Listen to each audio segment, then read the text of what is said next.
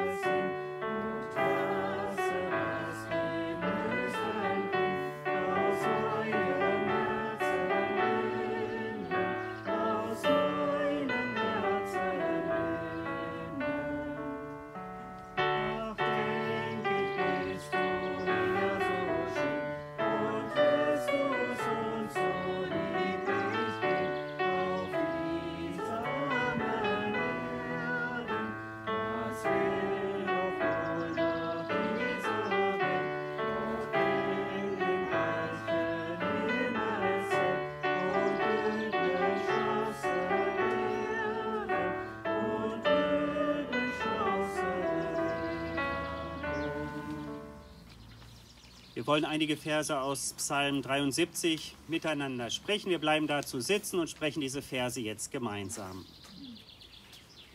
Dennoch bleibe ich stets an dir, mein Gott, denn du hältst mich bei meiner rechten Hand.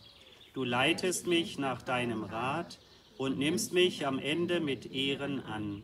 Wenn ich nur dich habe, so frage ich nichts nach Himmel und Erde. Wenn mir gleich Leib und Seele verschmachtet, so bist du doch Gott alle Zeit meines Herzens Trost und mein Teil. Aber das ist meine Freude, dass ich mich zu Gott halte und meine Zuversicht setze auf Gott den Herrn, dass ich verkündige all dein Tun. Amen. Wir hören auf das Evangelium für heute, eine meiner Lieblingsgeschichten vom sogenannten Fischzug des Petrus. Warum ist das eine meiner Lieblingsgeschichten? Weil Jesus aus einem Tag oder aus einer Situation, die eigentlich völlig hoffnungslos und frustrierend ist, durch ein Wunder etwas Gutes schenkt. Und ich habe die Hoffnung, dass er das auch bei uns immer mal wieder macht. Also Situation, Jesus ist so am Beginn seiner Wirksamkeit. Er hat seine Jünger noch nicht versammelt. Das passiert hier unter anderem mit dieser Geschichte, wo er zum ersten Mal auf sie trifft. Und die Leute wissen schon, er ist ein guter Prediger. Und was dann passiert, lese ich jetzt mal vor, steht im Lukas-Evangelium Kapitel 5. Eines Tages stand Jesus am Ufer des Sees von Genezareth. Die Menschen drängten sich um ihn und wollten Gottes Botschaft hören, nämlich das Evangelium. Da sah er zwei Boote am Ufer liegen. Die Fischer waren ausgestiegen und reinigten ihre Netze. Er stieg in das eine, das Simon, einem der Fischer, gehörte, und bat ihn, ein Stück vom Ufer abzustoßen. Dann setzte er sich und sprach vom Boot aus zu der Menschenmenge. Als er seine Rede beendet hatte, sagte er zu Simon, Fahr hinaus auf den See und wirf mit deinen Leuten die Netze zum Fang aus. Simon erwiderte, Herr, wir haben die ganze, uns die ganze Nacht abgemüht und nichts gefangen. Aber weil du es sagst, will ich die Netze noch einmal auswerfen. Sie taten es und fingen so viele Fische, dass die Netze zu reißen drohten. Sie mussten, die Fisch, sie mussten die Fischer im anderen Boot zur Hilfe herbeiwinken. Schließlich waren beide Boote so überladen, dass sie fast untergingen. Als Simon Petrus das sah, warf er sich vor Jesus nieder und bat, Herr, geh fort von mir, ich bin ein sündiger Mensch. Denn ihn und alle anderen, die bei ihm im Boot waren, hatte die Furcht gepackt, weil sie einen so gewaltigen Fang gemacht hatten. So ging es auch denen aus dem anderen Boot Jakobus und Johannes, die mit Simon zusammenarbeiteten. Jesus aber sagte zu Simon, Hab keine Angst, von jetzt an wirst du Menschen fischen. Da zogen sie die Boote an Land, ließen alles zurück und folgten Jesus nach. Amen.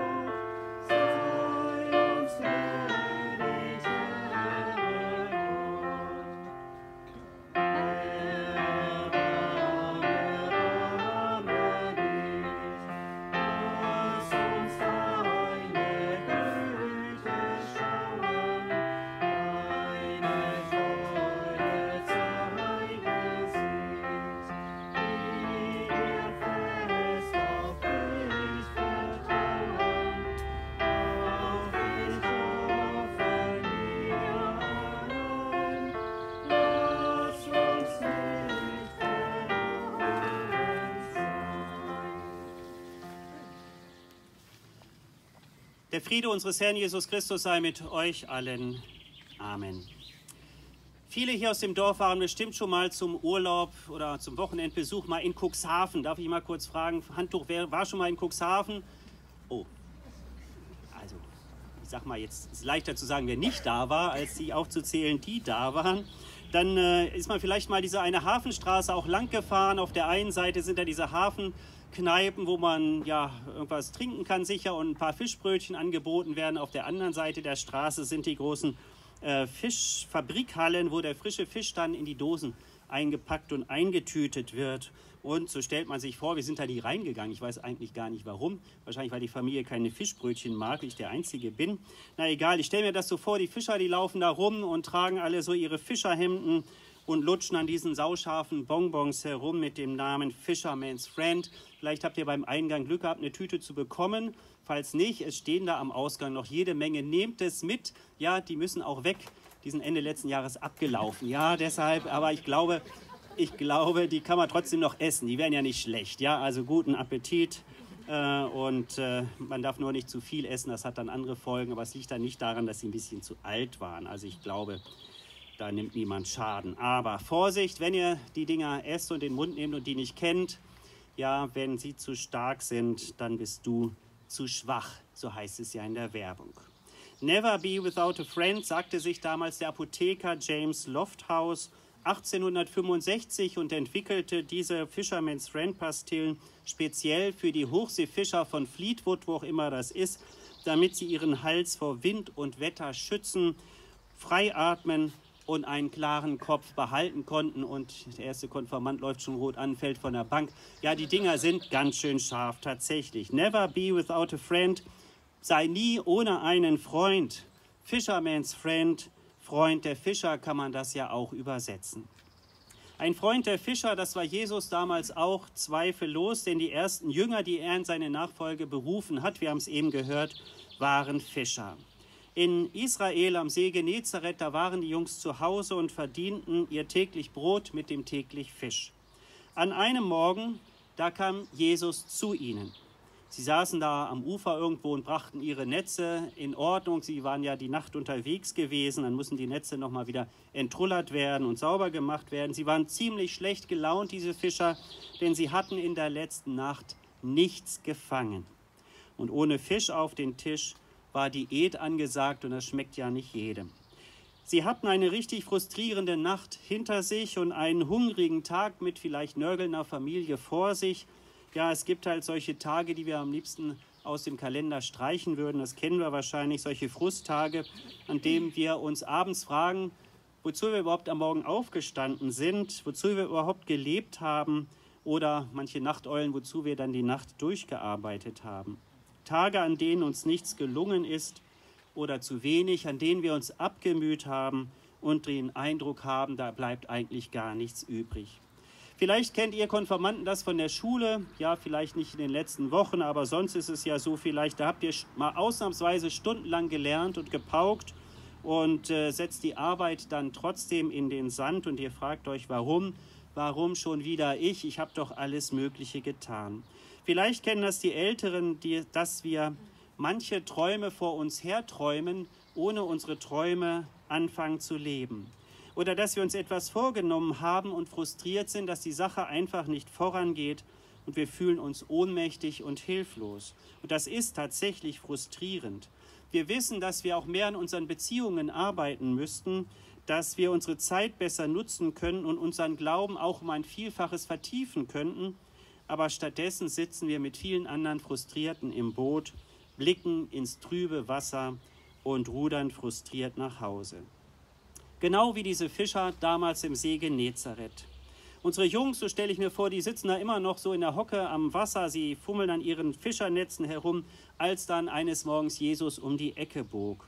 Und als er sich das so ansah, fragte er sie, ob er sich mal kurz eins ihrer Boote als Kanzel für die nächste Predigt ausleihen dürfte. Klar, sagten sie, warum nicht? Wir brauchen es ja gerade nicht.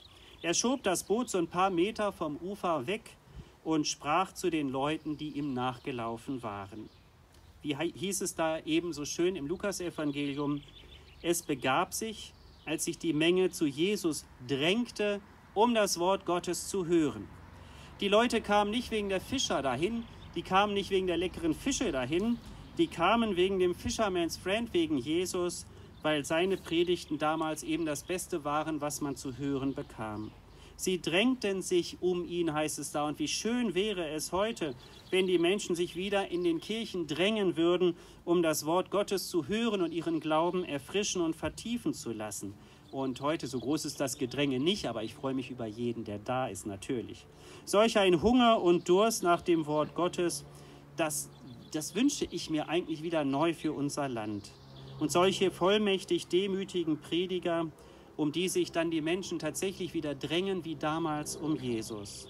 Sie hörten ihm zu, denn er hatte was zu sagen und vom Boot aus konnten sie wohl besser sehen und hören. Und die Fischer, die fummelten während der ganzen Zeit weiter in ihren Netzen herum. Sie waren immer noch schlecht drauf, weil sie ja die ganze Nacht nichts gefangen hatten. Und sie hörten Jesus vielleicht genauso wenig zu wie der eine oder andere, der jetzt mit der Sonne zu kämpfen hat. Und plötzlich fragt Jesus sie, ob sie jetzt nicht mit ihm ausfahren wollen zum Fischen. Und sie zucken zusammen und denken sich, was? Gott will der? Ja, Jesus, ein Fisherman's Friend, ein Freund der Fischer, der hatte als Zimmermann aus der Stadt doch gar keinen blassen Schimmer vom Fischerfang. Mit Hammer, Holz und Nägel konnte er als Handwerker vielleicht ganz gut umgehen, aber nicht mit Boot, Netz und Wasser. Ja, was will der uns jetzt sagen, was wir tun sollen?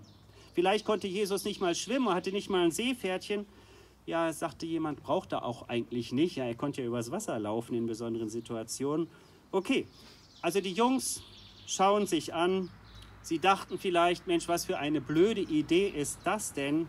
Aber einer sagte, was soll's?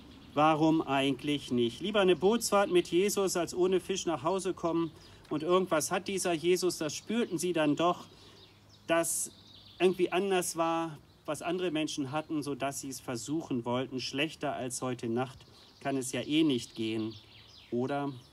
Und nun müssen als Erklärung wir Landeier natürlich wissen, dass man dort am See Genezareth in der Nacht zum Fischen ausfuhr. In Ufernähe, da gab es Fische. Fische gab es nicht, mitten am Tag, draußen mitten auf dem See. Jesus verlangt also etwas, wo die Fischer sagen müssten, das kann überhaupt nicht funktionieren. Ja, es geht es kann gar nicht gehen. Ja, und trotzdem wollen sie es auf sein Wort hin tun. Obwohl sie alle zweifeln, obwohl sie ehrlich nicht an den Erfolg glauben, obwohl sie von Jesus noch überhaupt gar nichts wissen, außer dass er tolle Reden schwingt, vertrauen sie hier seinem Wort. Und das ist das Größte, was wir heute Morgen wahrscheinlich von ihnen lernen können, dem Wort Jesu zu vertrauen und tun, was er sagt, obwohl es uns überhaupt nicht sinnvoll oder logisch erscheint. Und deshalb schau auf von deinem Fischernetz, das dich gefangen nimmt. Schau auf von deinem immer gleichen Alltag, der dich lähmt. Schau auf von deinem Frust und dem Wunsch, alles hinzuschmeißen. Schau auf aus deinem Selbstmitleid, das dich nur runterzieht.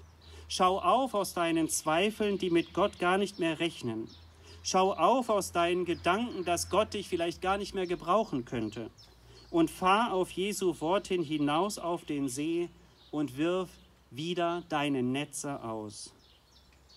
Gern wäre ich bei diesen Fischern doch dabei gewesen, zumindest in der Szene.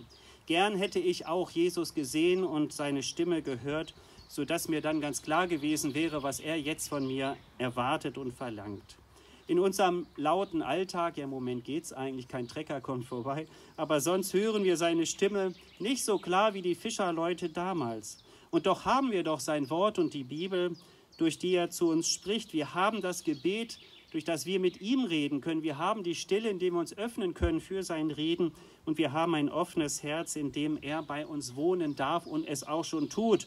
Und wir müssen den in uns wohnenden Christus nur mal öfter rauslassen. Und wenn wir ihm vertrauen, auch in mancher frustrierenden Nacht und an manchem mutlosen Tag, dann spricht er sein Wort auch zu uns und dann werden wir genau wissen, was dann zu tun ist.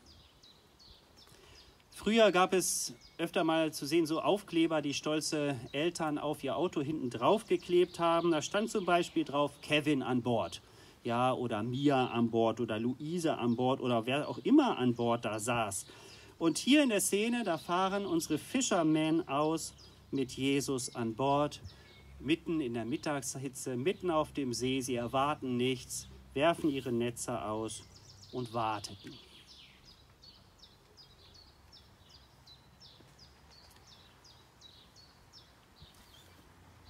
So wie wir. Denn Fischer sein ist was für geduldige Typen. Also warten die erstmal ab. Und ich stelle mir das so vor, die ersten zücken ihr Smartphone, ja, es wird langweilig, ja, kaum drei Sekunden nichts zu tun, wie wird denn das Wetter hier in Genezareth? Ach shit. Oh, was soll man denn im Kalender stehen? Was für ein Dulli will wieder was von mir? Das machen vielleicht die einen. Und die anderen hocken da in der Mittagshitze und merken, dass sie die ganze Nacht gearbeitet haben und werden langsam müde und denken, ich könnte jetzt im Bett liegen. Ja, und nicht hier mit Jesus im Boot sitzen. Oh. Bewegt sich da was? Nein. Ist das ein Fisch? Nein. Das Wunder geschieht nicht sofort. Ja, Gott hat Geduld, aber wir nicht. Vielleicht haben wir das gerade gemerkt. Ja, wir haben keine Geduld. Wir wollen wissen, wie es weitergeht. Und dann bemerken es die Fischer doch. Ja, sie werden langsam wieder wach. Sie schmeißen ihr Smartphone vor Schreck ins Wasser. Keine Angst, das Wasser wühlt auf. Die Netze zogen. Die Fischer merken, jetzt müssen wir was tun. Und sie ziehen die Netze an Bord. Und sie mussten sich anstrengen. Die Netze rissen fast, heißt es da. So voll Fisch waren sie. Sie zogen am Netz und dem Boot war nur noch dann ein einziges Gewimmel von Fischen und Fischern, die es kaum fassen konnten, denn das haben sie noch nie erlebt. Der Fang war so groß, dass ihr Boot fast sank. Ja, also wenn Jesus Wunder tut, dann übertreibt das auch manchmal. Ja, die Hälfte hätte vielleicht auch gereicht, um die zum Staunen zu bringen, aber so, so viel, dass das Boot fast sank. Und die Fischer schauen sich entsetzt an. Es war ihnen noch nie passiert und deshalb merken sie, das war jetzt ein Wunder. Das, was gar nicht passieren konnte, ist passiert, es ist ein Wunder. Und Petrus, einer von den Fischern, erkennt sofort, dass Jesus nicht nur so ein einfacher Mensch ist, nicht nur so ein Zimmermannssohn aus Nazareth, sondern dass Gottes Kraft und Gottes Heiligkeit in ihm steckt. In Jesus begegnet uns der heilige Gott. Und deshalb fällt er vor Jesus nieder und sagt, Herr, geh lieber weg von mir, denn ich bin ein sündiger Mensch und sündige Menschen halten es in der Nähe Gottes nicht lange aus. Und das passiert immer in der Bibel, wenn Menschen Gott begegnen. Sie halten seine Heiligkeit nicht aus. Und Jesus schnallt sofort, dass Petrus es kapiert hat und sagt ihm, hab keine Angst, also fürchte dich nicht.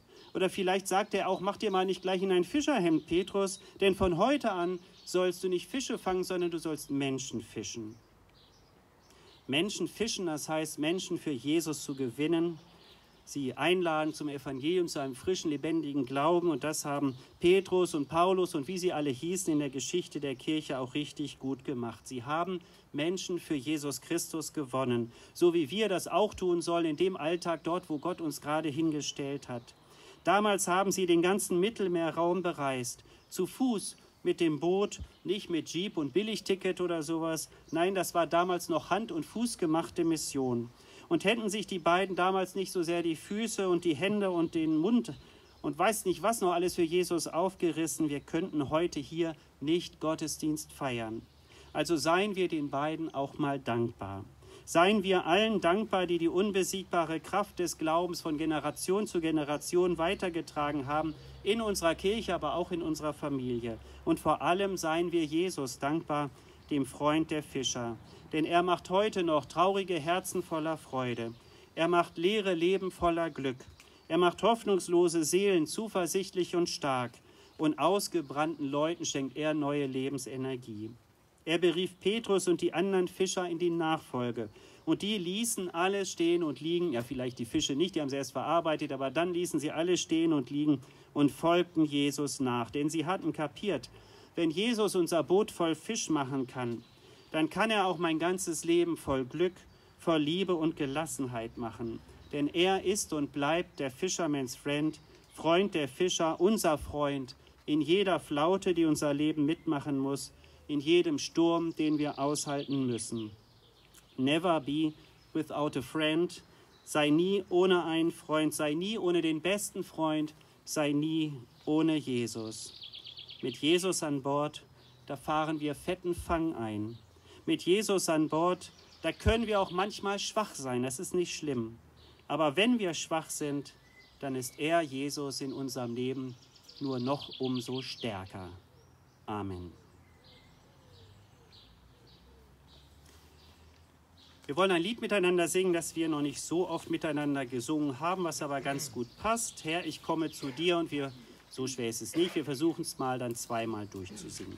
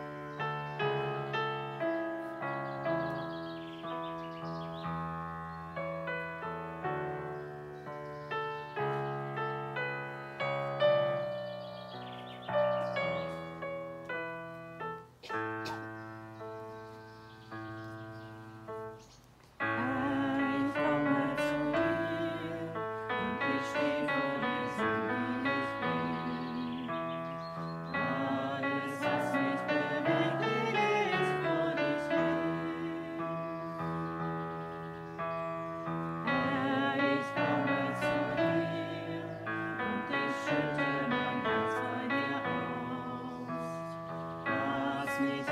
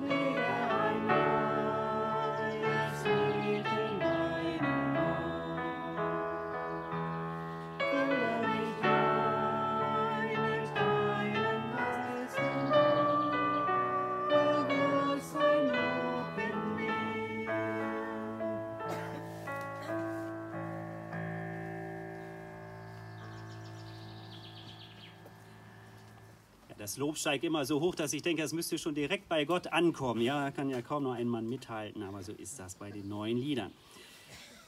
Gut, kommen wir zu den Mitteilungen. Ich hoffe, es geht noch allen gut, dass noch keiner zu viel Bonbons intus hat. Sieht aber nicht so aus. Ganz herzlichen Dank erstmal für die Kollekten der vergangenen Gottesdienste. Letzte Woche in Höhe von 93,76 Euro für die Schlesische Kirche in Tschechien, unsere Partnerkirche oder eine unserer Partnerkirchen.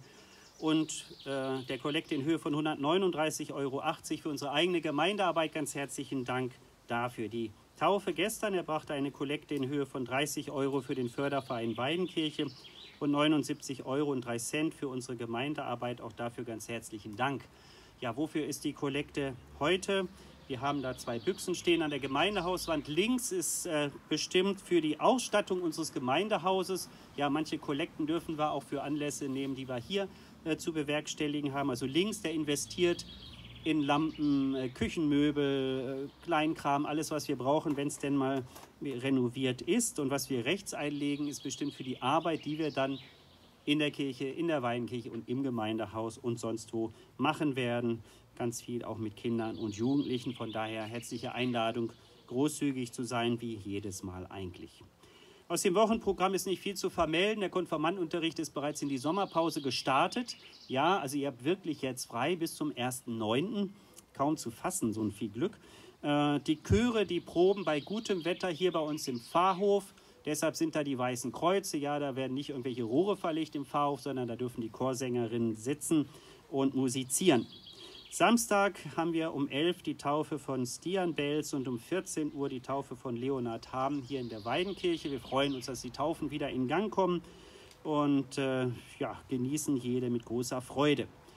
Ich lade herzlich ein zum nächsten Gottesdienst am kommenden Sonntag um 10 Uhr. Wann an den nächsten Sonntagen Gottesdienst ist, habe ich zur Sicherheit schon mal eingedruckt auf dem Liedzettel. Am besten die Konformanten den Kalender tragen, dann muss man nicht jeden Sonntag zehn Minuten vom Gottesdienst fragen, ob und wann und wo ist, sondern das mal machen. Das wäre ganz schön. Und auch die Älteren freuen sich, wenn sie wissen, äh, wann sie nicht umsonst kommen müssen. Ich empfehle auch durchaus in der Ferienzeit Gottesdienst in anderen Gemeinden das ist mal eine schöne Radtour oder eine kleine Wanderung oder mit, der, mit dem Auto mal in die große Stadt fahren und sich da mal in so einer richtigen großen alten Kirche was angucken. Also ich kann dazu nur einladen und anregen. Äh, dafür gibt es auch eine Unterschrift bei den Konformanten zumindest, wenn ihr das macht und dran denkt. Gut, und jetzt wollen wir uns noch einmal erheben und miteinander beten.